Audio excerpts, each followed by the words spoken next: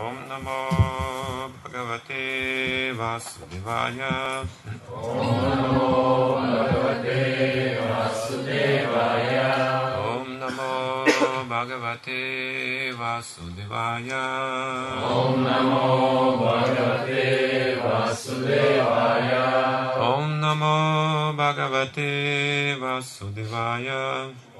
नमो भगवते वासुदेवाय Шримад Бхагаватам, песня, 1 глава, 16 текст, 8. Как Парикшит встретил век Кали. Санскрит. Накашчин мрияте тават. Накашчин мрияте тават. Накашчин мрияте тават. Накашчин мрияте тават. Яватастай хантакаха. Yavatasthay Hantaka Yavatasthay Hantaka Yavatasthay Hantaka Tatartham hi Bhagavan Этатартхам хи Бхагаван. Этатартхам хи Бхагаван. Этатартхам хи Бхагаван.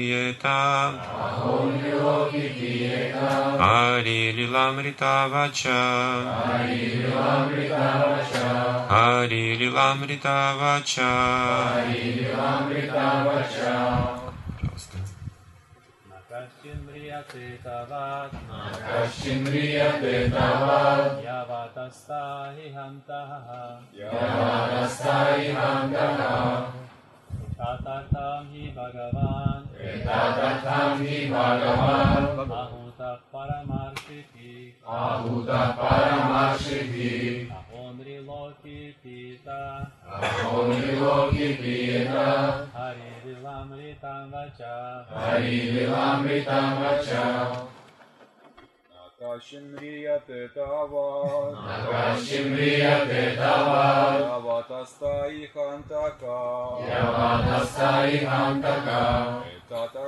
हि भगव एतादर्थामि भगवा भूतः पारमर्षिति भूतः पारमर्षिति अहोन्विलोकि पीयेत अहोन्विलोकि पीयेन हरिलीलामृतं वच हरिलीलामृतं वच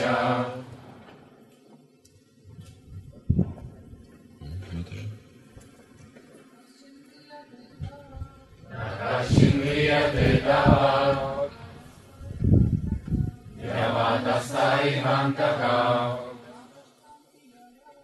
एतादर्थं हि भगवान्। अभूतपरमसिद्धि अहो निलोकिप्रियता हरिवामृतं वच।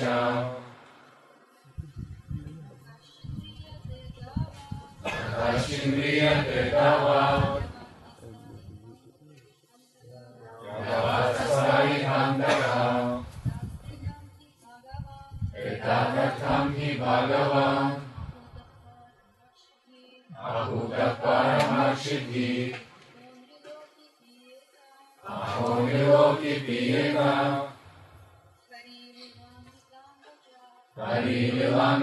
Vacha. На. Нам Не. Кашчит. кашчит Всякий. Прияте Умрет. Тават. Пока. Яват. Яват Так же долго. Асте. Присутствует. Иха. Здесь. Антака. Тот, кто служит причиной конца жизни. Этот. Это По этой. Артхам. Причине. Хи. Несомненно. Бхагаван. Представителя Господа. Ахута. Пригласили. Парамари Шибхи. Великие мудрецы. Ахо Увы. Нрилоке, в человеческом обществе. Пиета, пусть же они пьют. Хари Лила Хари Лила, о трансцендентных играх Господа. Амритам, Амритам, нектар бессмертия. Вача, Вача, повествование. повествование. Перевод стиха. Пока Ямарадж, который несет смерть каждому, присутствует здесь, никто не встретится со смертью. Великие мудрецы пригласили повелителя смерти Ямараджа, который является представителем Господа. Живым существам, находящимся в его власти, нужно воспользоваться нектаром бессмертия в форме этого повествования о трансцендентных играх Господа. Комментарий Шилпрапады. Никому из людей не нравится умирать. Но никто не знает, как избежать смерти. Самое верное средство избежать ее – приучить себя слушать повествования о нектарных играх Господа, последовательно излагаемых в Шримад Бхагаватам. Поэтому здесь дается совет любому человеку, желающему освободиться от смерти, следует принять образ жизни, который рекомендует Риши во главе с Шаунакой. Может быть, еще почитаем стих потом, пока мы поговорим о том, что здесь написано. Итак, здесь снова говорится о смерти. Каждое живое существо должно встретиться со смертью. И Шримад Бхагаван, там, это не просто философский трактат, который описывает что-то имперсональное, безличностное. Почему этот подход вообще применяется безличностный? Если мы понимаем, что все связано с личностью, обязательно. Мой отец – личность, мой дед – личность, предыдущие предки все были личностями. Но когда мы думаем о каких-то высших существах, высших энергий называем, не, не понимаем, как личность может быть такой, таких масштабов. Можем связать это с личностью. Какие-то колоссальные проявления энергии. И здесь концепция и персонально вступает в силу. Но и даже если Имперсонально означает, что они беспристрастны. То есть мы не видим личностного подхода, солнце светит, и негодяям тоже. Если бы солнце было бы личностью, наверняка бы негодяям не светило бы. Луна тем более бы ночью не освещала ворам и убийцам дорогу. Вот что-то в этом духе человек мыслит таким образом. Когда отрицает с личностями высшие силы, он не может понять, что это за личности. Скорее всего, это просто энергии. Но для того, чтобы понять, как действует человеческое общество, нужен тоже имперсональный подход. Почему? Потому что личностный подход к человеку, несовершенному человеку, не беспристрастному, он запутывает. Сейчас в наше время личностный подход для многих означает копаться в чужих недостатках просто проблем. Зачем это надо вообще? Давайте просто условимся. Я не это делаю. Вы душа, сверхдуша, я не это тело, я не те гуны природы. Это имперсональное, это отстраненное состояние. Почему? Потому что много проблем в этом всем, в личностной концепции. Вот это несовершенство человека, его личности переносится на высшие силы точно так же, даже на Бога. Зачем эта личность? Слишком сложно все будет. Имперсонально, растворение, освобождение от материи, вот эта концепция, она более приемлемо для умов людей века Кали, когда личные отношения все связаны с какими-то сложностями. Что не личность, то проблема. Что не отношения, то сложности, вражда даже, недоверие, неприязнь, все смешано. Даже если мы кого-то любим, мы должны принять его недостатки тоже. Это так же, как есть сладкий рис, смешанный с песком, говорит. Вкусная вещь, сладкий рис. Ну, но смешанный с песком ужасно все.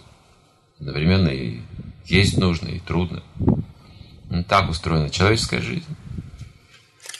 Слишком вкусно, чтобы отказаться, слишком горько, чтобы есть. Так, земная жизнь такая. И имперсонально. Здесь же э, Бхагаватам говорится, что Ямарадж – это личность. Но великая личность, как и многие полубоги, представители Бога в этом мире. Собственно, когда мы говорим «великая личность», «великая» означает представитель Бога. Великое означает, что в каких-то вещах он тверд и безупречен. Так же верно, как смерть говорится, это Ямараджа. Он в чем-то очень тверд и безупречен, не ошибается в каких-то вещах.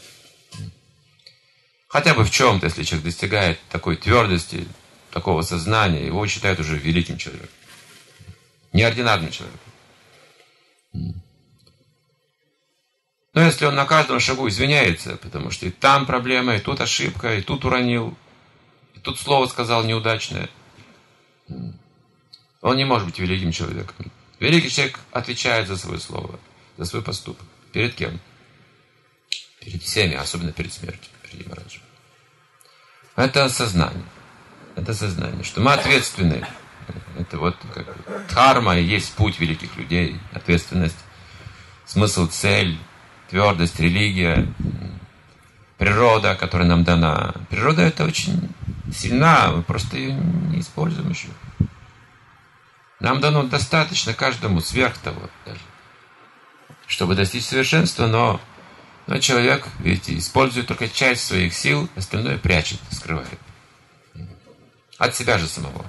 Он притворяется, что то не могу, это не могу, в это не верю, это непонятно, только и слышно эти вещи. Это не могу, я женщина или я мужчина, я слишком молодой, или я уже слишком старый, я больной, или еще что-то, или мне некогда. Это то, что мы слышим от человека всегда. Он занят какой, какими-то глупостями. И говорит, что ему некогда. Не чем-то существенным. Он думает, что ему нужно бороться за жизнь как животному в джунглях. Ну, собственно, так жизнь устраивается. И на каждом шагу люди судят друг друга. На каждом шагу люди судят друг друга. Даже прохожие, которые по улице проходят, смотрят друг на друга с такой же оценкой присуждают либо приз, либо наказание. За одежду, за походку, за внешний вид, за поведение. Все, все, как Ямараджи. Мир смерти называется, Мритю Лока. Потому что смерть в высшем смысле это просто суд. Но основательный суд. Как бы уже с приговором, окончательным приговором. И следствие. Следствие это наша жизнь. Здесь идет следствие. Кто же мы? В течение жизни выяснится. Что если каждый человек представляет, как он проживет эту жизнь? Сначала все, как дети, они не очень все различают, они более-менее беспристрастны, все дружат друг с другом, потом позже не подрастают, уже различаются по профессиям, по интеллекту, распадается их дружба, они вступают в другую сферу жизни. И проверка идет, как мы сможем поддерживать эти дружеские отношения, как мы сможем поддерживать супружеские отношения, как мы сможем поддерживать верность, свои слова, свои обеты, свои цели, свою честь, свою чистоту. Пронесем ли до конца это все? Жизнь будет таким следствием, доскональным следствием проработанным. Но еще не окончательный суд. Здесь не может быть окончательный суд по той причине, что человеку дается право скрывать какие-то вещи, держать при себе, надежде, что человек это постепенно сможет сам исправить в себе. За этого не судят. Большую часть вещей, которые мы с вами сейчас делаем, нас не судят сейчас в этой жизни. После. Приговора это будет. Сейчас за какие-то а, слишком опасные моменты есть осуждение. Закон. Подобный закон у Ямараджи, закон государства существует. Иногда, если кто-то применяет химсу, какое-то насилие, вот тут нужно остановить. Иногда даже убить, казнить человека. Тоже Ямарадж, его закон, его сила. Но, как правило, такие тяжкие преступления не очень частые, хотя все чаще становятся, случаются, но не очень часто люди боятся совершать такие преступления, это слишком высокая ответственность. Но маленькие грехи совершаются множество в скрытом, в скрытом состоянии этот человек делает. Когда в одиночестве находится, когда нет свидетелей, он склонен к этому. Мне говорил об этом один старший человек, что ты доверяешь людям, но ты не имеешь опыта. На самом деле человек, обычный человек, он ведет себя неплохо в присутствии друг, других людей. Но когда остается наедине, он все что угодно может сделать. Это опытный человек, мне еще говорил до сознания Кришны. Говорит, ты, говорит, будь разумным. Что? Ты доверяешь людям, потому что ты их видишь в обществе. Вот как только ты встречаешь человека, он уже в твоем обществе.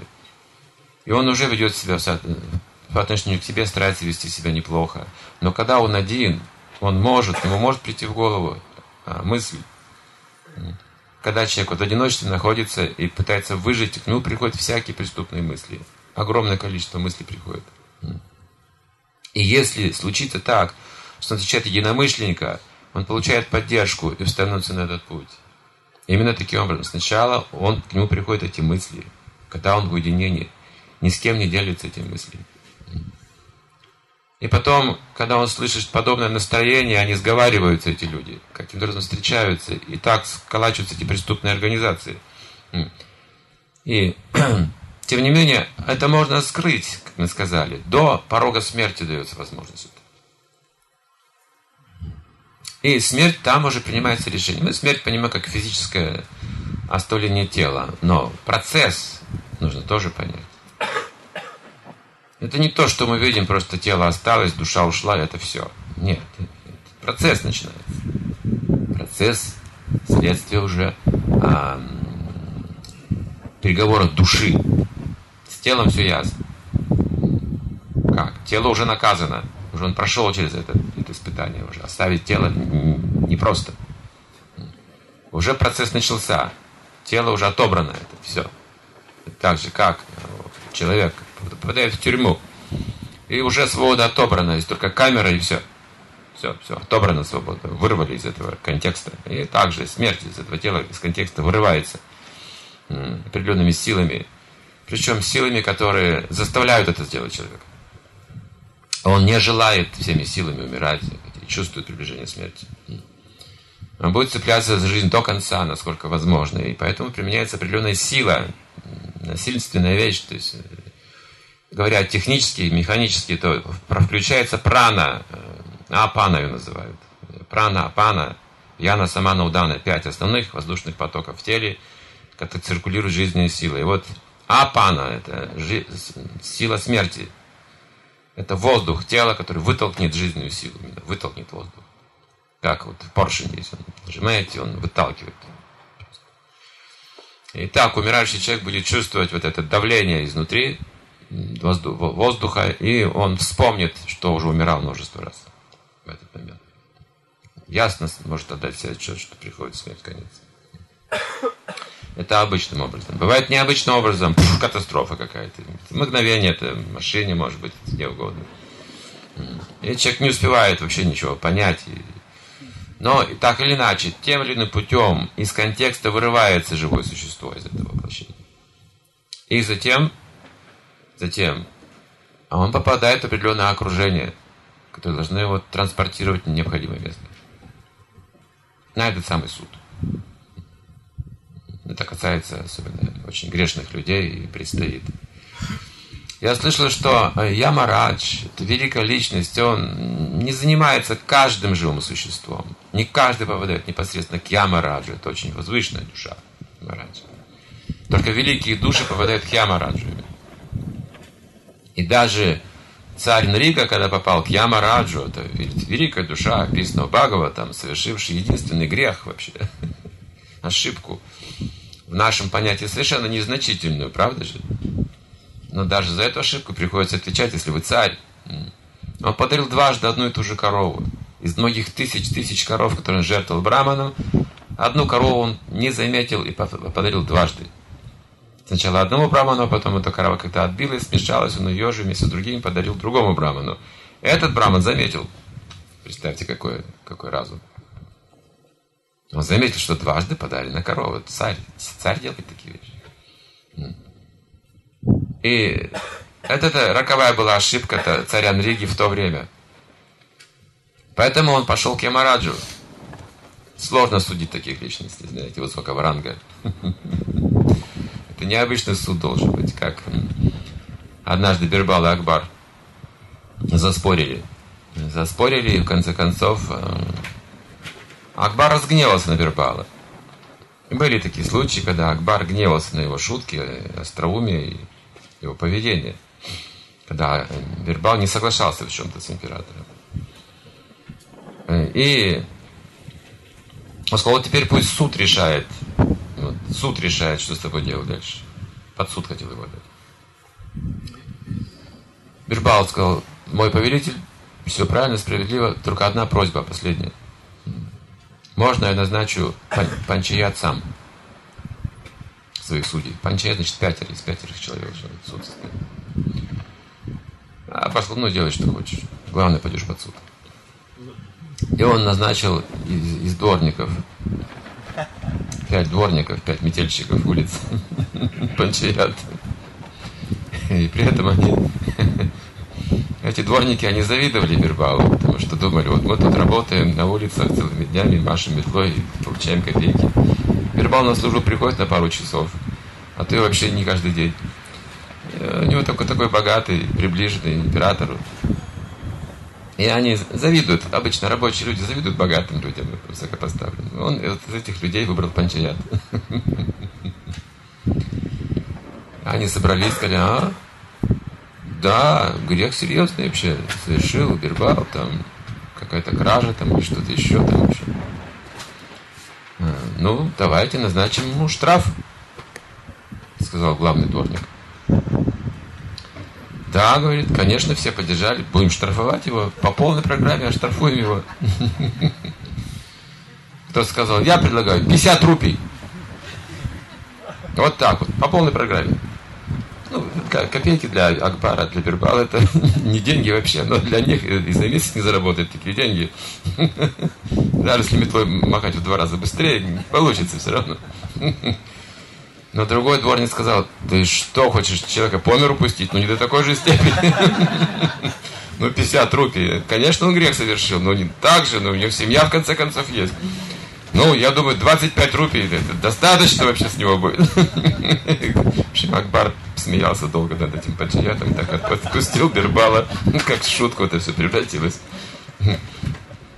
Поэтому, если царь Нрига совершил грех, это великая личность, душа, кто может судить его? Да? Ямарадж тогда, конечно. Ну, для великих людей. Я не знаю, но я не думаю, что, допустим, такие личности, как Гитлер, попадают к Ямараджу. Там достаточно секретарей. Ямадуты могут разобраться. Они достаточно разумны. Просто провести его определенные условия и все. Чтобы увидеть Ямараджа, тоже нужно иметь заслугу. И Ямарадж, когда встретил царя Нригу, он сразу увидел все. Потому что там нет грубого тела, и там нет этого фактора скрытности. Не дается. Все из контекста вырвано, вы не можете ничего скрывать. В данном случае, даже если вы под следствием находитесь, вы все равно что-то можете скрыть. Хотя труднее это, следствие идет. И... Но в том случае все очень просто. Ямарадж смотрит просто. Есть глаза, он смотрит в глаза. И все, и душа вся насквозь трепещет. Все помнит, все понимает в этот момент. Даже то, что она считала благочестием, она понимает, что все это было грехом. Все становится ясным в том измерении присутствия Ямараджа. Дхармарадж называется. Присутствии судьи даже великие преступники признавали свои прегрешения перед лицом, как бы наказание признавали это, соглашались. И Ямарадж обратился к царю Нриги с почтением, что великая душа явилась. Сказал, у тебя есть благочестивая карма. И очень много. У тебя есть грех. Небольшой. Что ты хочешь? Выбери сам. Ямарадж сказал. Сначала отработать плохую карму, и хорошую. Можешь сам решить. Общался с ним как по-дружески. То есть я тебя не наказываю, выбери сам. Незначительные прегрешения у тебя. И он даже дал намек ему, судья не имеет права как бы быть пристрастным, но даже в этом случае Ямарадж в каком-то смысле дал ему намек, что лучше сразу же получить хорошая реакция, а там можно и подумать, как нейтрализовать этот грех. До него не дойдет вообще. Дал ему намек этот. Но царь Инрига его подвела, подвела, подвела собственное благочестие и честность. Я решил, нет, я должен отстрадать за тот грех, рассчитаться с ним. сказал, сначала плохую карму. Потом я уже очищусь. Вот таким был царь Рига. Как Парикшит? Он сказал, нет, он мог нейтрализовать проклятие этого мальчика Брама, он сказал, нет, это воля Кришны. Я должен принять смерть через 7 дней. Все. Я решил. Я подчиняюсь этому. И Ямарадж немедленно превратил его в ящерицу огромную. Это была карма, следствие поступка, того, того поступка. Ящерица, причем он жил в глубоком колодце, почти обездвиженный всю жизнь, долгое время. Не мог выбраться из того колодца. Не имел свободы. Видите, какие суровые наказания. В шастрах мы смотрим, как, какие реакции можно получить за ту или иную деятельность. Ну, чересчур вообще, ну, очень серьезные вообще реакции. Да, но для великих личностей так. В наше время Пропада говорит, люди могут есть мясо, заниматься незаконным сексом, пить вино, обманывать друг друга. И для них это не считается греховной деятельностью. Они даже не знают, что это греховная деятельность. Приходят к Ямараджу и говорят, ты грешник? Нет. Я как все. Я жил так же, как все. Почему грешник? Нет, я не согласен. Что там у Ямараджа делать такому человеку? Там есть какие-то еще инстанции, которые будут заниматься немножко по-другому. Тут есть отдел Кали-йоги, отдел Сати-йоги, отдел Двапара-йоги, видимо. Я не знаю, спекулирую сейчас. Но очевидно, что есть какие-то вот классификации, ранги. Потому что если нас сейчас судить даже за мысли, мы никогда не освободимся. Век Кали много прощается. Например, мысли греховные не считаются преступлением. И даже поступок не считается еще преступлением, пока он не закончен.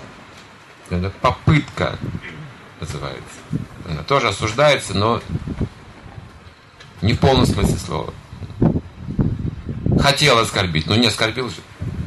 Ну ты хотел, да, но хотел, не оскорбил. Как называется? Не пойманный, не вор. Так еще. Вот это в Кали-Юге мы пользуемся вот этим преимуществом. Нам дается эта возможность в уме совершать что угодно. И даже делать что угодно, пока не закончено действие. То есть я встал на плохой путь, но потом а, одумался и изменил это. О, слава тебе. И то, что ты пытался делать плохие вещи, все, прощается. Что ты осознал это, ты начал другую жизнь. Все. Но царь Нрига осознал тот свой поступок еще при жизни. И тем не менее, в теле ящерицы. И, конечно же, Кришна таких личностей не бросает. Кришна Бог, говорит, не оставляет таких праведников, даже когда они попадают в беду. Он их вызволяет из этой беды. Удивительно, что это проклятие Брамана обернулось таким великим благословением для Андриги в теле ящера. Дети Кришны в Двараке играли близ города и увидели этого ящера в колодце. Они заинтересовались, огромное такое существо находится в колодце, живет. Как он там живет вообще? И хотели достать его оттуда, но не смогли. Ящер был очень тяжелый почему-то. Это были могу, я слышал, что там самбо было, это такие сильные были, сыновья Бога, сыновья Кришны. Но не смогли достать. Чего-то не хватало у детей Кришны, чтобы вот общаться с Ригой. Так велик был этот Рига, царь. Но они не отстали, дети не побежали за отцом. И сказали, Кришна, папа. То есть можно вот достичь такого положения, родиться в два раки от Кришны, играть он на коленях, обманывать иногда его, не слушать. Мы это делаем всегда при жизни. Мы обманываем постоянно, думая, что он ничего не знает, без свидетелей действуем. На каждом шагу пытаемся обмануть его. Ну вот, дети тоже так поступают. Папа, там интересно, ящерица, достань нам ящерицу, там в колодце ящерица. Но Кришна знал, что это за ящерица. Он уже знал, что дети придут, и время пришло освободить Наригу. И одновременно, почему так произошло, что дети его обнаружили как бы случайно? Нет, не случайно. Кришна хотел преподать урок своим детям через эту историю. Он пошел вместе с ними, они показали. Вот тут колодец, смотри, смотри, видишь, там какая ящерица большая. Достань ее, пожалуйста. И Кришна совершенно без всяких усилий, очень легко, просто нагнулся так вниз, левой рукой достал ее оттуда. И как только он коснулся этой ящерицы, представьте, какое благочестие. Одно прикосновение. Если мы касаем, соприкасаемся с святым человеком, то не сразу реагируем. Есть такое существо, называется диплодок. Слышали? Нет. Это такая гора, вот так вот, если хвост начинается, такая гора, гора, гора, гора, потом вот такая вот шея, шея, шея, там голова. А, далеко. Хвост там, значит, голова там. Посередине такая гора мяса. Диплодок называется. Вспомнили? В картинках. Сейчас не существует такого диплодока, но в картинках. Останки нашли, в общем. Нашли останки, соединили их, покрыли кожей и показали. Вот такой был диплодок примерно. Почему диплодок? Как дипломат, знаете. Там два мозга. Один в голове, а другой в заду. Там, где копчик где-то, что-то в этом духе. Биология нам объясняет. Поэтому до него все трудно доходит. Диплодок. И вот современные люди как диплодок. Они услышали Харе Кришна, это значит удар по хвосту. И от хвоста эта реакция идет, идет, идет через этот вот задний проход, э, потом поднимается к голове, и наконец он понимает, кто-то его укусил в хвост. Так. Оборачивать там уже никого нет, конечно же. Давно уже никого нет, уже след простый вообще. Это диплодок Я не знаю, был ли он такой, но так его описали биологи. Не уверен, что он такой был медлительный и глупый. Бы его съели заживо просто. Ну, так биологи говорят, что ему нужно время – примерно там где-то идет полминуты, пока он вообще осознает, что происходит. Вот, современных людей в будущем также будут находить останки, говорят, какие-то маленькие диплодоки. Слышат, слышат, но не понимают. Долго нужно, годы там. О, дошло. вот о чем речь шла, понятно. Но здесь другое, такое благочестие. Когда просто коснулся Кришны, сразу трансформация произошла. Это как сказка, да, в сказке. Превратился, говорится, сразу же. Но, но, преданные в какой-то момент, когда они практикуют сознание Кришны, очищаются, в какой-то момент они вдруг внезапно трансформируются. И всем видно, как чист этот человек. В какой-то момент все о, как очистился этот человек. В какой-то момент это сразу происходит. Вот что-то подобное. И царь Нрига от одного прикосновения Кришны сразу же оставил тело и предстал в этом божественном облике своем. И Кришна знал, кто это. Но дети рядом стояли. И он сказал, ты кто? Расскажи себе. Чтобы услышали его сыновья. Я царь Нрига в прошлом. С какой-то эпохи еще давнишней. Я был царем на этой планете. Все очень удивились. Царь, император мира стал ящерицей. Как так случилось? Тут интересная история. Царь Нилига рассказал о, о своих подвигах, о своих благих делах, намерениях, которые он совершал всю жизнь сознательно, следовал шастрам, давал пожертвования браманам каждый день, защищал людей безбожия от боли, идеально выполнял свои обязанности. Сыновья были просто восторге, когда слышали всю эту историю. Какая личность сияющая. Но я совершил грех, сказал Нарига. Я совершил серьезную ошибку. Вот такая воцарилась тишина. Все стали слушать, что же случилось с такой личностью. Ведь не может, даже в голову плохая мысль попасть не может. Я однажды подарил тысячу коров одному браману. Все было правильно, каждая корова была здорова, молода, имела теленка, давала молоко. Рога были позолочены, копыта посеребряны, гирлянды, все как нужно я сделал. И эту тысячу коров вручил Браману, как пожертвование. Потом, когда пришел другой Браман, ему тоже вручил тысячу коров, но одна из этих коров, подаренная прежде, отстала и попала в это стадо, и я этого не заметил. Я подарил уже подаренную корову этому браману. Но браман это сразу понял, что произошло. Вот такие были браманы. Никакой разум. Уф. Какой контроль, смотрите, какой контроль чувств. Если вы так тонко контролируете чувства, вы видите такие вещи потрясающие вокруг. Детали можете видеть. Так, что мы видим, да, а на что это значит? Да, ничего это не значит. А это что? Да тоже ничего. Как-то пустяк, видимо. И кругом эти пустяки, знаете. Там пустяк, и тут пустяк. Кто-то там почесался, пустяк. Но когда однажды один из брамачарьев, учеников Прабхупады, сидел, слушал его вот так вот, дергал коленом, Прабхупад сказал, остановись. За каждым проявлением страсти есть какая-то женщина. Не пустяк это. Если вы контролируете чувства, начинаете видеть другие вещи совсем. Пустяков нет. Конечно, люди могут делать вещи неосознанно просто жить. И говорить неосознанно, и двигаться неосознанно, все делать, и одеваться неосознанно. По велению инстинкта какого-то все сейчас это происходит. Если их спросить вот, а, осознанно, почему так оделся? Ну, не скажет ничего. А прическа у тебя почему такая? А почему ты куришь? Не, просто хочу, нравится, да и все. Он не может, не осмысливать, что он делает вообще. Но если вы контролируете чувства, вы сразу начинаете понимать, о, что за глупости? Люди курят. Если вы сами курите, вы думаете, ну, просто не обращайте на это внимания, пустяк. Отличное дело. Но как только вы обуздываете чувства, еще больше, еще больше, вы глубже, глубже, глубже, глубже, глубже начинаете видеть. Этот браман сразу заметил. Корова-то подаренная. По лицу этой коровы сразу все понял. Корова же отдала сердце тому браману, видите, а его еще к другому браману. У него тоже живое существо. Это не пустяк. Вишвамитра однажды хотел украсть корову Камадхену у Васишки. Но корова не хотела идти к Вишвамитре. Кто ты такой? Сказал, ты не браман даже.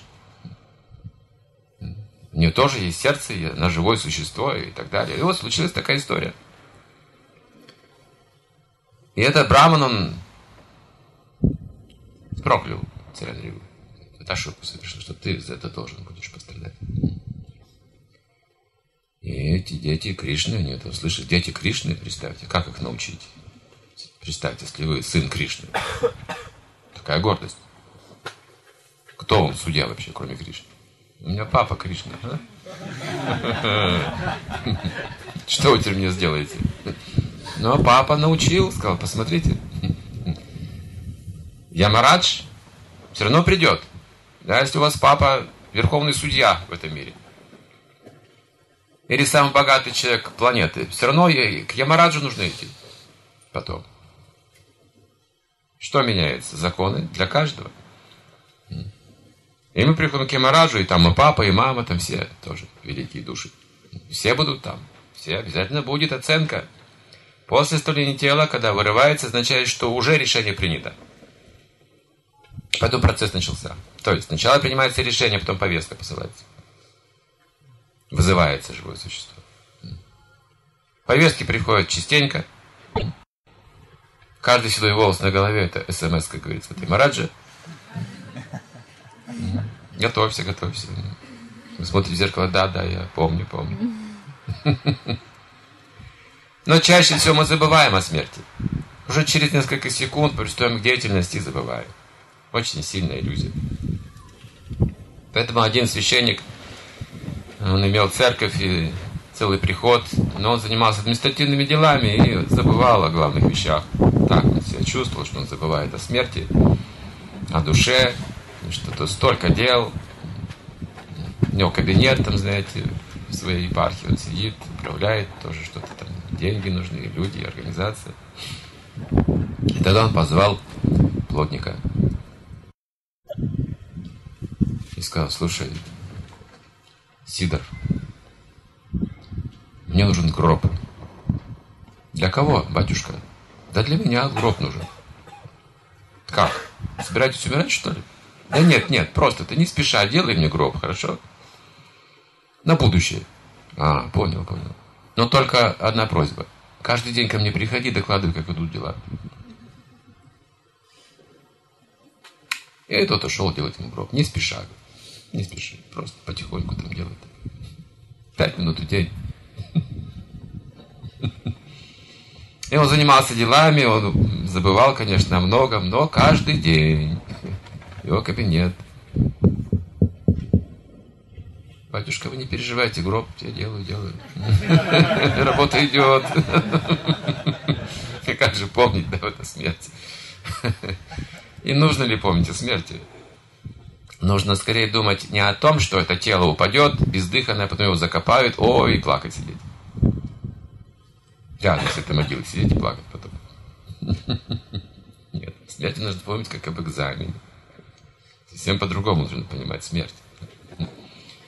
Вот сейчас мы уже учимся видеть это все по-другому. Не то, что смерть это какое-то мучение, страшное отделение тонкого от грубого тела. это, это внешнее представление смерти. Этого недостаточно. Самый важный момент – это суд идет. То есть оценка будет нашей жизни полная. Полная. И другой интересный момент. Не каждый, не после каждой смерти человек может получать такую оценку. Такой же момент существует. Потому что в какой-то из жизней, прошлой жизни, оценка могла уже быть на несколько жизней вперед. Например, таков приговор. Сто жизней шудрой. Все, и там уже не нужно. После каждой жизни идти к Мараджу снова суд и следствие. Вот сто жизней и живи в шудре. Поэтому многие люди, они и не помнят толком вот эти вот вещи. Не знают об этом. Даже при помощи регрессии. Нет. То есть в нашем случае, в Кали-Югу, нам уже присуждена, присуждены многие жизни – не одна жизнь. Потому что грехов много, а жизнь короткая. Как вы за одну короткую жизнь Кали-йоги можете сжечь всю карму, накопленную, ее больше?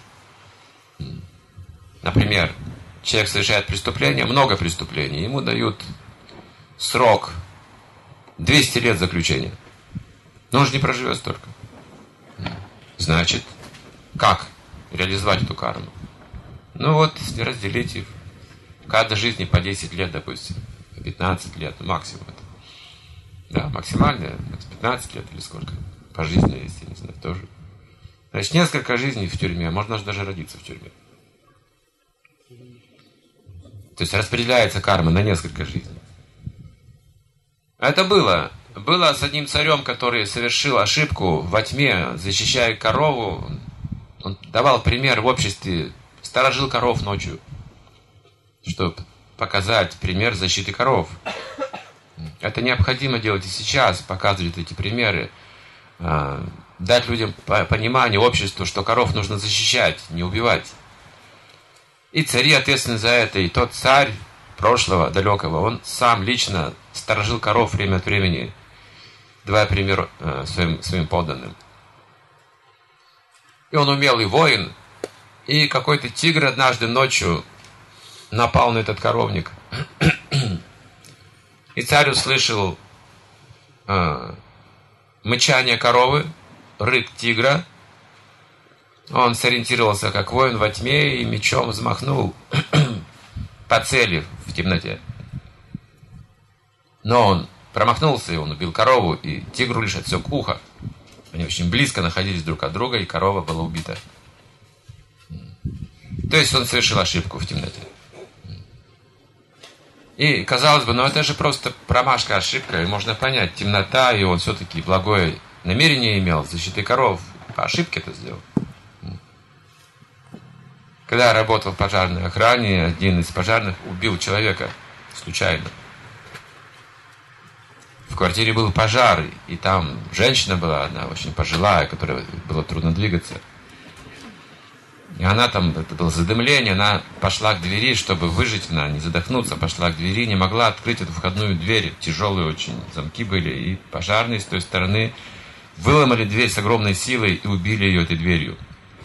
Но суда не было, потому что это было случайно, не намеренно совершенно при исполнении обязанностей. Она погибла от этого удара дверью. Такое случается. И в данном случае то же самое – да, какой пример мы приводили только что? Да, да, да. То же самое, при исполнении обязанностей, как несчастный случай, но Васишта пришел, его гуру, и сказал, нет, поскольку ты царь, а если даже ты по ошибке сделал такую вещь, твои подданные будут потом сознательно такие вещи делать, убивать коров. Поэтому я проклинаю тебя. Сто жизней низкорожденным родишься. Назвал цифру сто жизней, будешь рождаться низкорожденным. Без суда и следствия больше. Значит, человек умирает и сразу переносится в другую утробу, в другую лону. Это похоже на наш случай сейчас. Не то, что мы все сразу идем к Ямараджу, там большой, большой суд, целый процесс, все так ясно на самом деле. Тут. Просто мы перерождаемся, перерождаемся, перерождаемся, перерождаемся. И так и не можем расплатиться с этой кармой, что за одну короткую жизнь мы совершаем слишком много поступков.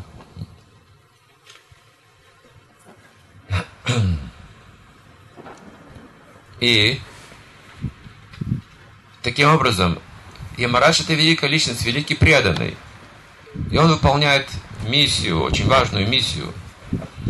Распределяет вот, живые существа в необходимые формы жизни.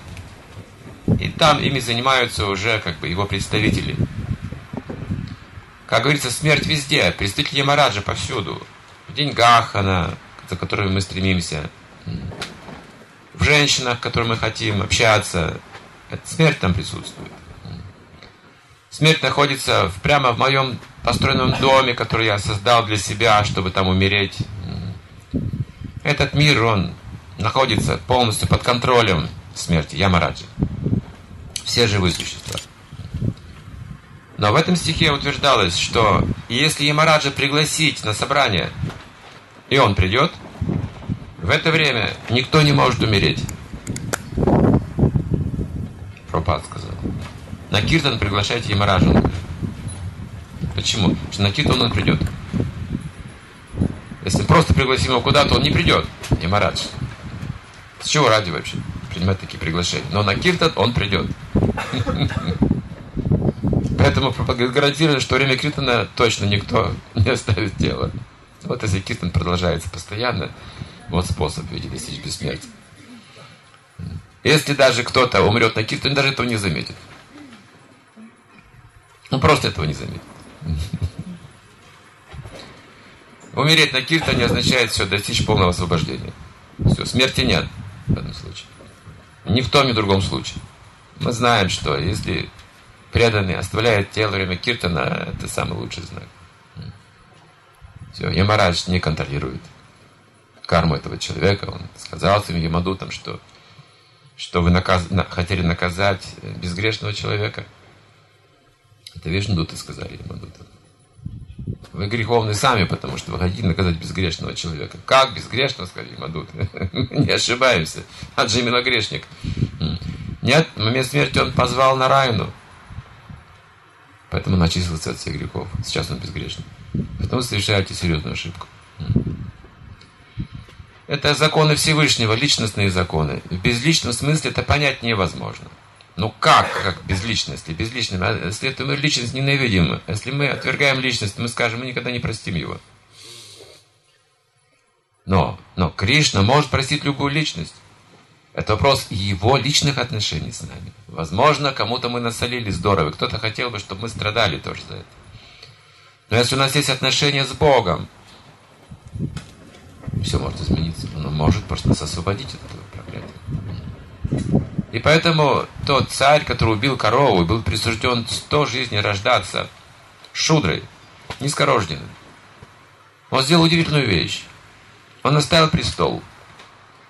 Ушел в лес заниматься преданным служением, бхакти-йогой. Достиг совершенства бхакти-йоги и ушел к Богу. Все. Все. Никаких реакций, потому что все решается этими отношениями. Как важно понимать, что Бог это личность безличный аспект, он суровый. Вы с ним никогда не можете говорить, как, например, сейчас наше общество, оно устраивает безличную систему. Ну, больше и больше. Например, если раньше на улицах были полицейские, там ДПС и прочее, ГАИ, сейчас ставят фотокамеры. Это безличное представительство. Вы не можете договориться с безличной камерой. Нас просто щелкает и отправляет куда надо. Все это автомат действует. Безличная система управления. Или экзамены в школе. Раньше личности, профессора, там, не знаю, доктора наук или учителя в школах, они общались с детьми, принимали экзамены. И там учитывалось также личное обаяние человека, умение общаться, это, это немаловажный фактор. Но безличная система дает тесты просто. Берете тесты, вы не видите при собой никакой личности. От личности мы отказываемся, видите, в этой безличной системе. Мы считаем, что закон превыше всего. Но в ведические времена царь время от времени ходил в тюрьмы, обязательно проверял. Он тоже думал, заботился об этом, потому что некоторые люди, сидящие в заключении, они а, переосмысливали свою жизнь. Они менялись на самом деле. И он наблюдал этих людей. И тот, кто менялся, и тот, кто давал обещание ему жить благочестиво и служить государству честно, он амнистировал сразу же, одним словом. Да, с точки зрения закона человек сделал много плохого и должен сидеть в тюрьме, но с точки зрения покаяния есть другая еще сторона. Он может быть прощен. Прощита, он раскаялся искренне. И цари прошлого могли это чувствовать. И люди им доверяли, и судьи им доверяли, потому что это был царь. Настоящий царь. Полноценный царь. И также видно, если человек попадает на суд Божий, так сказать, к Ямараджу или после смерти, и он искренне признает свои грехи искренне повинную голову меч не сечет. В этом случае принимается в расчет его благочестивые поступки, дается новый шанс. Все может исправить такой человек, если он искренне. Поэтому в сознании Кришны у нас тоже есть своя карма, но есть искренность, и Кришна принимает. Процесс работает. По сути дела, грешник, он даже не должен будет быть допущен к такому процессу.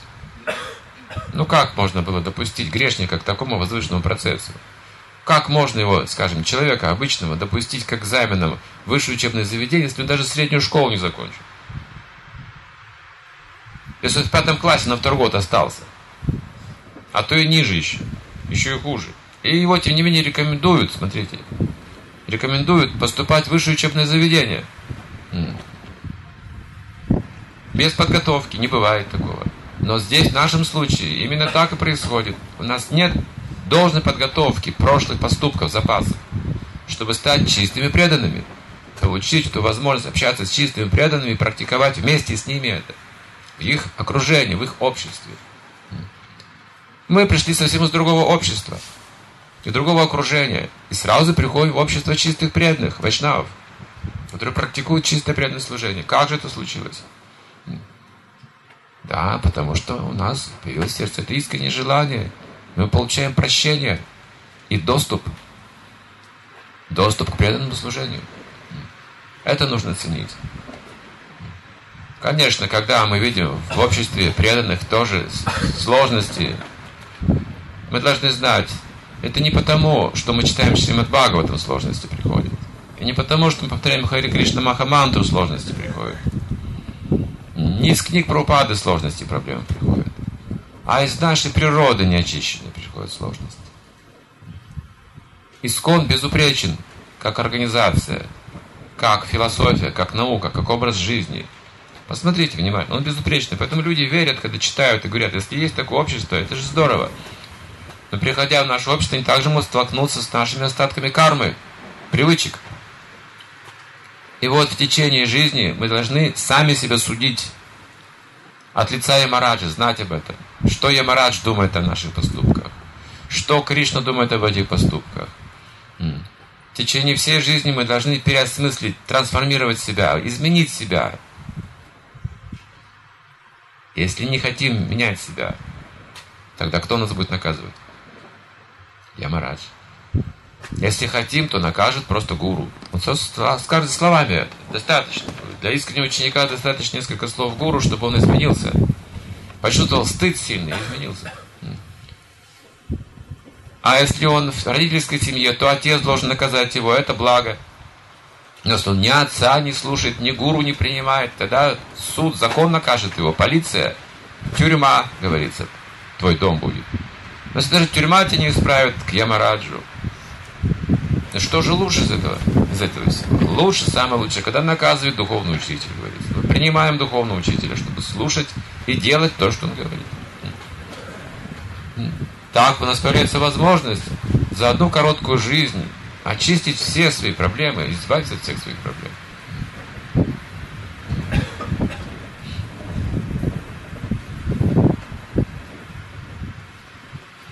И поэтому это последнее предложение, это маленького комментария. Здесь дается совет любому человеку, желающему освободиться от смерти. Следует принять образ жизни, который рекомендует Риши во главе с Шаунакой. Освободиться от смерти мы не можем в физическом смысле слова. Здесь другой смысл вкладывается. Освободиться от смерти, освободиться от наказания, значит. После оставления этого тела. Смерть может быть наказанием, а может быть последней ступенькой к совершенству. Это последняя ступенька к совершенству, на которой мы должны встать.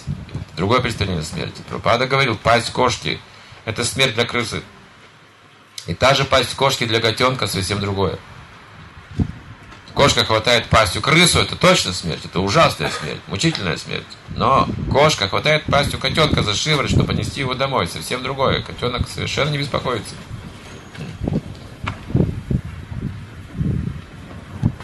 Поэтому здесь, говорится, нужно слушать вот эти повествования, которые дают вот этот трактат удивительный, написанный в Ясадеве в пору его духовной зрелости.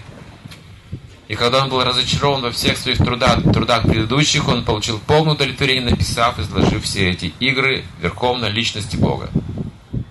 И если нас признает Бог, все будет кончено. Все эти суды, все эти кармы, все эти сложные, вот эти запутанные в нашей жизни, все прояснится если Кришна просто будет доволен нашим служением.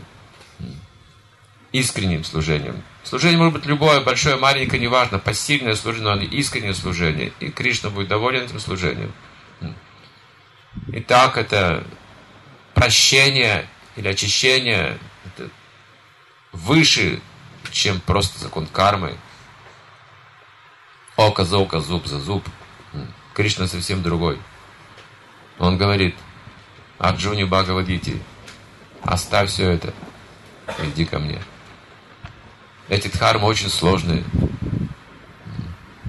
Очень сложно сейчас идти путем дхармы. Мы вроде идем путем дхармы, но столько ошибок совершаем, что хам твам сарапапьёк, иди ко мне, я тебя защищу от этих ошибок. Сам лично. Человек не сможет даже вспомнить свою прошлую жизнь, он может только оценить некоторые свои поступки в этой жизни и думать, что все в порядке у него. И он наблюдает за другими, вот есть тоже порядочные люди. И вдруг у этого порядочного человека преждевременная смерть, и люди не могут понять, почему. Потому что не знают этих сложных причин сейчас. Нет такого разума у человека. И они сбиваются с толку. Но Кришна говорит, Сарва Тарман Паритяджа, оставь эти все сложные вещи запутанные. Мама Камшаранавраджи, предайся мне. Я тебя сам защищу от всех этих проблем, ошибок, которые ты неминуемо совершаешь. Харе Кришна, какие будут вопросы по этой теме, пожалуйста.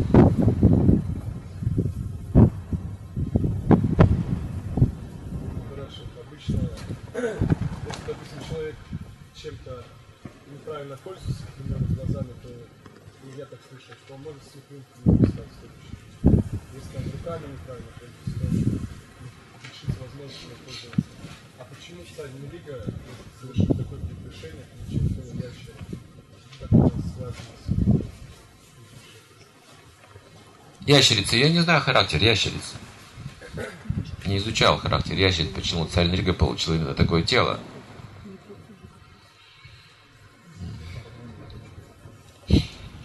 Но для этого нужно знать характер ящериц. Я не очень хороший кармопсихолог.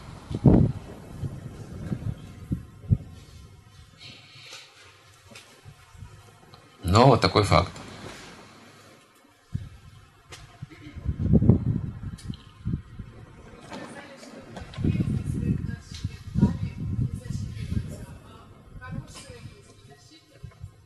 Захар.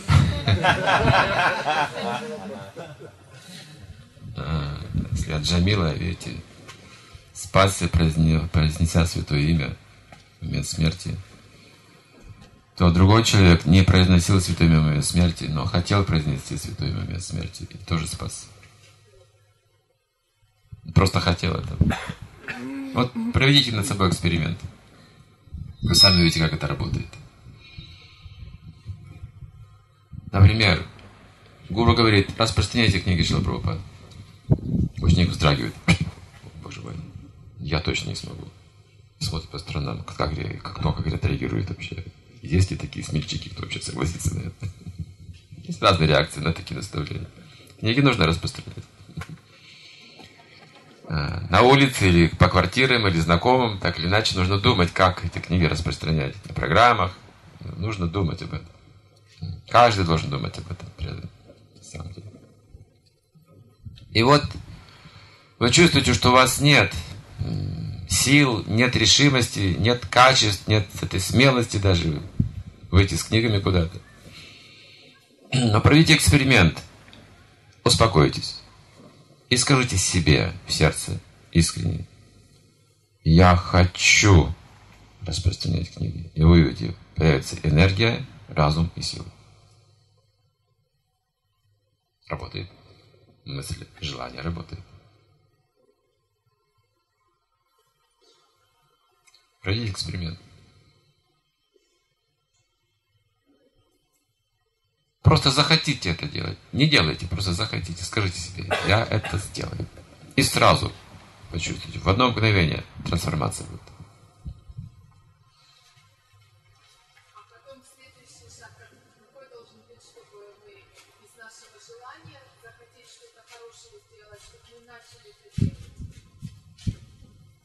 Я могу рассказать, как я впервые вышел на Санкиртану, чтобы проиллюстрировать этот вопрос.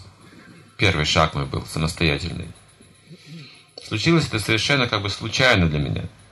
Я просто по глупости вдохновился. Я не знал, что вот прям на улицу нужно выходить с книгами, вот еще в те времена, боже мой, не дай бог. Что можно в тюрьму попасть, в милицию как минимум попасть, конечно же. С работы вас могут уволить, все что угодно можно. Но там был очень сильный преданный у нас в Петербурге, который нас просто, знаете, пинками поднимал. Книги мы распространяли, когда слушали его лекции. Что он это делал с большим риском, но он делал это. И он дал какую-то лекцию, и я подумал, меня что заинтересовало в его лекции, что он сказал, в конце на вопрос отвечал, что если вы хотите понять, что вы не это тело, кто спросил его, идите на улицу с книгами. Распространите хоть одну книгу, и когда вы это делаете, вот тогда вы понимаете и видите, что вы не это тело. Это духовная деятельность. И вот тут вы осознаете, что вы не это тело. Я заинтересовался этим. Я так вдохновился, я пришел домой, там жена, ребенок, и я, знаете, вдохновленный, ей говорю, завтра я пойду книги распространять на улицу. Она так восхитилась вообще мной. Так на меня посмотрела с таким уважением, такой герой вообще, вообще супер, о, да, правда, ну вообще, там она восхитилась, я так чувствовал себя с. На утро я уже понял, что я погорячился. Ясно это осознал, что это какая-то майя была вообще. Не мое вообще, у меня другая природа, понимаете, я... И вообще у меня слабое здоровье. Мало ли что можно подумать. И мы утреннюю программу провели, все, уже до просада дошли, едим просад, и я никуда не собираюсь. Открыл гид, думаю, жена, не обратила внимания, наверное, забыла про это. Она не забыла. А так ты же собирался идти на, на Санкиртану, книги распространять. Говорю, да, пойду. И она так не смотрела, точно пойдешь. Но как она все видит вообще? Ладно, все, я пошел. А сам я понимаю, что я думаю двойственно. Я пошел-то, пошел для нее, а для себя я пошел гулять просто. Думаю, ну вот мошенник. Ум какой, а? Страхи, сомнения. Сразу стал видеть, как это все работает. Понимаете, вся эта вот нечистота всплывает. Ну, я взял книгу для честности хотя бы. Я подумал, ну вот если возможность предоставится, я, конечно же, покажу книгу. А если нет, то нет. Я себя успокоил. И, конечно же, какая-то возможность улице. Выходишь на улицу, никакой возможности нет. Все куда-то бегут, спешат. Какая тут возможность может быть вообще? Я думаю, ну куда эти, где тут люди есть? На остановке люди стоят. Автобусы. Я иду на остановку, а сам так медленно иду. Думаешь, хлеб, автобус подошел, и все уехали. Вот, вот такая вот, такое сознание было. На каждом шагу я искал, ждал случая, чтобы вот как-то меня освободил Кришна от этой, от этого креста или как от этой миссии. Как Христос сказал, может, меня освободишь от этой Пусть эта чаша мимо меня пройдет, да, вот таким образом. Но, впрочем, воля твоя, а не моя, он сказал. Вот что-то вроде это мне новым приходило. Я подошел к остановке, вижу люди, ну никак, понимаете, не расположены общаться. Там они курят, ждут автобуса, какие-то все хмурые, невеселые. Вот. Ну и действительно как-то место было странное на остановке, потому что люди не расположены были долго говорить, они ждали автобуса своего, приезжали, уезжали. Я думаю, куда же пойти? Как-то, когда к людям подошел с книгой, уже почувствовал какую-то безопасность, что с книгой можно рядом с людьми стоять хотя бы. Вот представьте, что у меня творится у человека. Я думал, тут парк недалеко. Тут сейчас утро, конечно, в парке никого нет, пойду распространяю. Это была окраина Петербурга, не, не центр города, людей мало там. Это спальный какой-то район, там мешок, говорит, они все уезжают туда в город, и пусто. Тем более в парке, в рабочий день. Вот я пошел туда распространять, и почувствовал гораздо лучше, потому что там точно никого не было. Я просто ходил и смотрел, ну где же люди-то вообще? И вдруг, как назло, появился человек. В конце этой дорожки, значит, и идет один навстречу, навстречу тоже. Издалека. Я думал, ну все, все, хватит трусить. Пойду распространю ему книгу, покажу книгу, погоди, тут назову, расскажу, все, что нужно. И решительно пошел на этого человека. Он меня заметил и сбежал в другую сторону от меня. Ну, представьте, парк, никого нет. К вам решительно кто-то двигается навстречу, понимаете? Решительно просто. На вас смотрит и идет. Я понял, что я напугал этого человека. И почувствовал себя еще лучше, что я могу произвести впечатление тоже. Меня боятся очень хорошо. Главное, чтобы меня боялись на улице, верно? Вот так работает Аханкара, вот так это вот нечистота, вот это вот борьба за выживание, у нас сидит это все. А тут книги нужно распространять, представьте. А ведь люди не, не ваши друзья это. И вы не знаете, что там будет. Вот как вам подружиться с человеком там, как-то заговорить и произвести впечатление? Нет такого опыта. И я понял, что тут я, да, что я тоже человек, они тоже люди, и мы одинаково примерно мыслим и чувствуем. И я решил так свободно просто гулять по парку, расслабиться, успокоиться. И увидел, что человек как-то расслабленно, спокойно гуляет с ребенком. Один, никого нет. Не работает. Тогда все работали. Работали. Этот не работал почему-то. И с ребенком гулял. Я ходил вот так вокруг книг с этой книгой. Тоже как бы гулял. Я гулял все, значит, меньше, уже, уже, уже круги мои были гуляльные. И в конце концов я уже встал перед ним. И стоял и смотрел на него, и книгу держал. И он тоже на меня стал смотреть, он на книгу. И он меня не боялся, я его не боялся. Говорит, что, хочешь книгу показать? Говорит, да. Вот так это происходило. И, собственно, я ему так и не распространил эту книгу. Получилось по-другому. Он сказал, я, говорит, с моря пришел, сейчас я не работаю. У меня есть деньги, говорит, я бы купил эту книгу. Но не с собой, деньги дома. Я говорю, ну поехали к тебе домой. Откуда у меня взялась такая наглость, не знаю. И он, главное, согласился, и мы с ним пошли на автобусную остановку, поехали к нему домой, несколько остановок ехали, разговаривали о чем-то. Зашли к нему домой. Он не нашел деньги. Говорит, жены нет, жене отдал, куда-то на них спрятал эти деньги. Говорит, приходи завтра ко мне сюда, прям на квартиру. Я ему оставил все книги, у меня было еще Панишат, по-моему.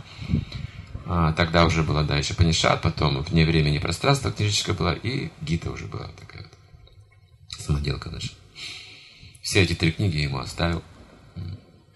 На следующий день я пришел к нему, жена была категорически против этих книг. Не захотел, он сказал, жена, говорит, не хочет, не, не куплю. А соседка купила все эти книги и стала преданной. Такая история была.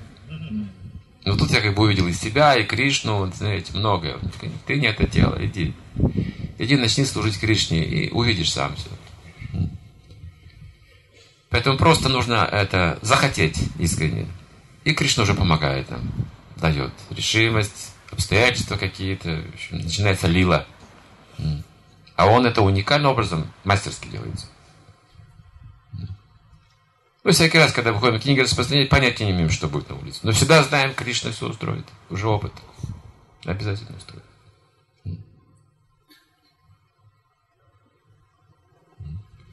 Гурмараш, вы сказали, что у, у детей Кришны была гордость. Но если они у Кришны родились, они должны быть уже достигшими совершенства. Как это понять? Да, Прабхупада говорит, не идеализируйте духовный мир. Представьте такое написать. Не идеализируйте духовный мир. А что, что идеализировать? Почему он написал? Потому что даже в духовном мире живое существо склонно подтакать своим чувствам. Свобода выбора там тоже есть. Почему вы думаете, преданные, что там нет свободы выбора в духовном мире? Если она есть здесь, здесь есть, то она есть там в большей степени. И кто-то иногда говорит, что там нет свободы выбора, невозможно оттуда прийти сюда. Возможно. Мы же пришли. Благодаря именно свободе выбора, выбора неправильно использованной, мы можем делать, что хотим. Даже там. Но пока мы преданы Кришне, Кришна это во благо обращает. Все наши маленькие несовершенства, недостатки. Недостаток, это значит, что вы маленькие. Это во благо обращается все. Здесь некому обратить все наши недостатки во благо. Сами мы не можем.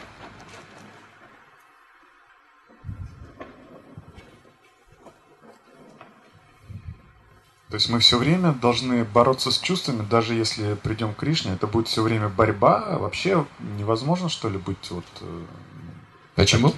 Ну, в духовном мире тоже есть свобода выбора, и мы там будем бороться с, с какими-то желаниями, которые противоречат, скажем, ну, преданному служению или там правильному пониманию, еще чему-то. Как здесь. Мы боремся с чувствами все время. Хотим одного, а должны делать другое. Ну, тут, например, история Сатраджита. Сатраджит не хотел Кришне камень отдавать.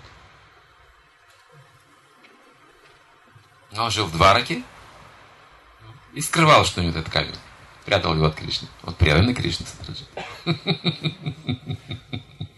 Вот интересная история. Но камень прятал от Кришны, но камень давал слишком много золота, чтобы Кришне его дать. Сатраджит думал, мне самому нужен этот камень. Я получил его в дар от Бога Солнца, это мой камень. А Кришна хотел забрать у него этот камень, что он приносит также несчастье в этом мире. Не предназначен для обычного человека. Ради блага. Не потому, что нужен был камень Кришне. У него Сиамантаки в, духовном мире выложены дороги вообще. А тут такой камень, знаете, один камень тут может чудеса творить вообще. От солнца, от Бога солнца подарили. И там целая история описывается, как эта история этого камня с Ямантаки, Сямантаки. Вот Кришна это использовал для определенной лилы. И тоже Сатраджит был убит. Такова судьба его. Был заговор против него.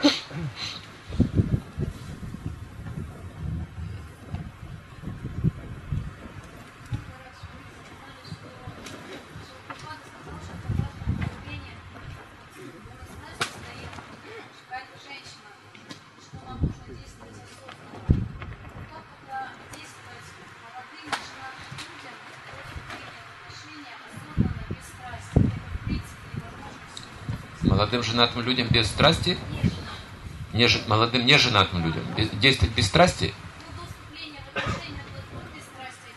да нет, даже не думайте, невозможно это для молодых людей. Не-не-не, они действуют в соответствии со своей природой. Это просто был пример. Это не то, что мы должны против молодежи сейчас выступать. Неправильно. Молодежь должна действовать как молодежь. Согласно их природе. Проблема-то не в этом. Проблема в том, что старые люди хотят быть молодыми. И действовать как молодежь. В этом проблема.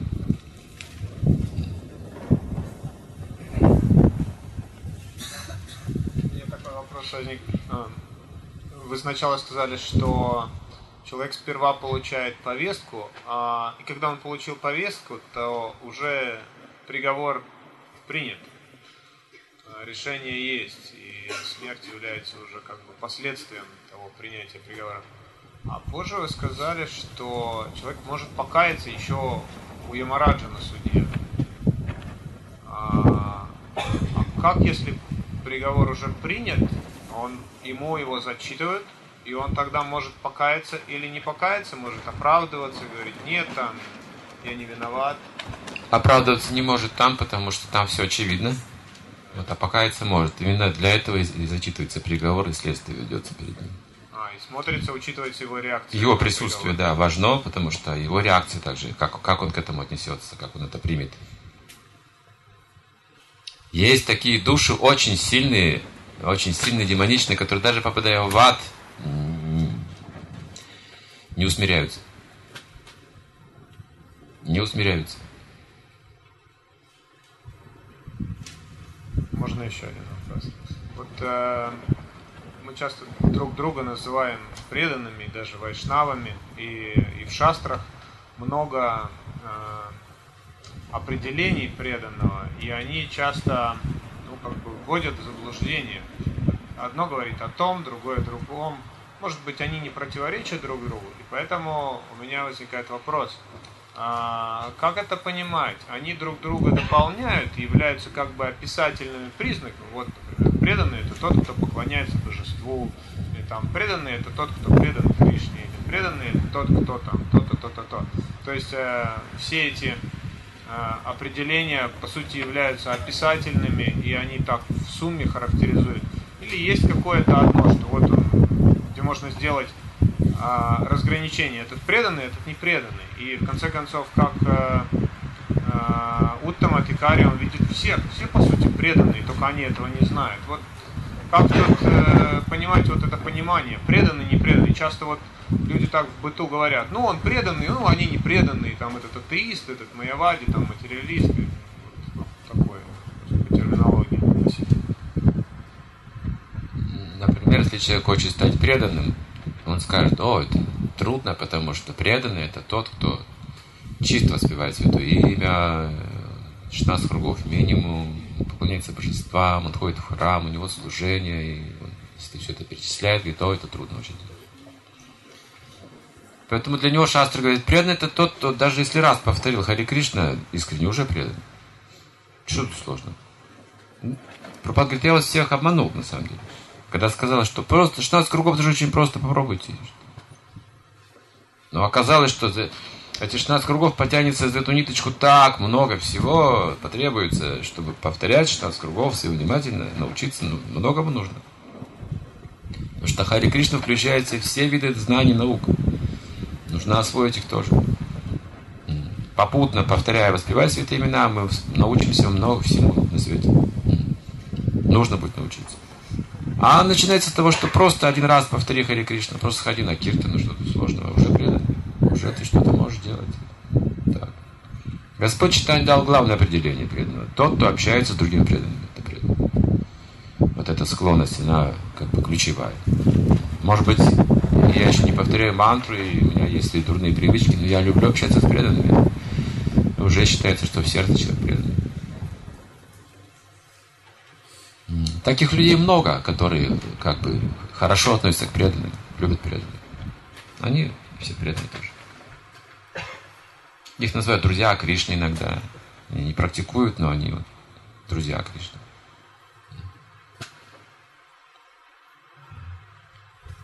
Эти друзья Кришны это делают больше, чем преданные.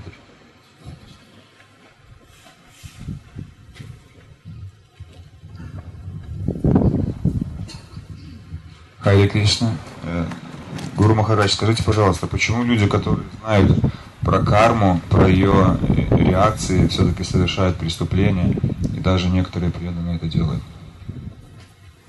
Вот она свобода выбора. Не могут простить, не могут забыть, чувствуют, что жизнь к ним несправедлива.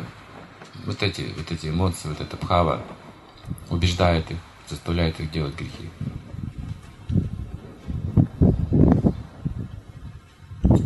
Например, э, в 90-х годах в начале мы ехали в поезде в плацкарте, в плацкарте каком-то на Урале. Ну и всегда в то время мы в вагонах проводили программы. Мы там проснулись, там сделали, там мантру повторяли и стали петь киртан, читать Бхагават. Людей полно, полный вагон был. Мы всегда так делали. В 90-е годы означает рэкет, бандитизм, вот, вот эта атмосфера была. И лекция была, я что-то говорил о карме тоже. И народ просто, значит, с ума сошел. Вот эта тема кармы взбудоражила весь вагон. Вопросы пошли, там обсуждения начались такие, знаете. Что люди в отчаянии были, где брать деньги вообще, сокращение по штату, выбрасывали на улицы, девальвация, ну, кошмар был какой-то. Паника была в обществе. Один человек прямо при всех подошел и говорит, а что делать мне? А? Меня, говорит, все, сократили по штату, у меня нет работы, у меня семья. Поэтому, говорит, я иду вот к любому киоску, к любому магазину, говорю, ты мне должен. И забираю деньги, граблю просто людей. Говорю, ты мне должен давать деньги. Что теперь мне делать? Это что, грех? Я за это буду отвечать, что ли? Но у меня такие обстоятельства. Я говорю, да, тебе придется за это ответить. Законы кармы. Ну почему, говорит?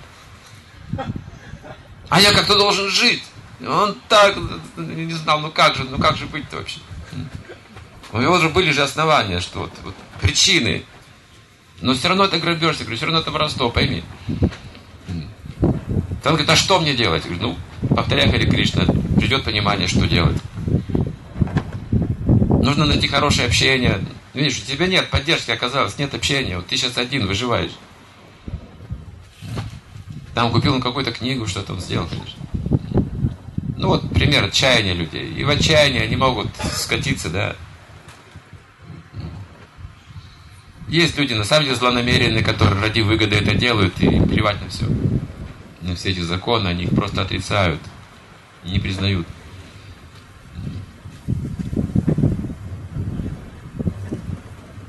Трудно принять эти законы грешнику. Любому грешнику трудно согласиться с законом.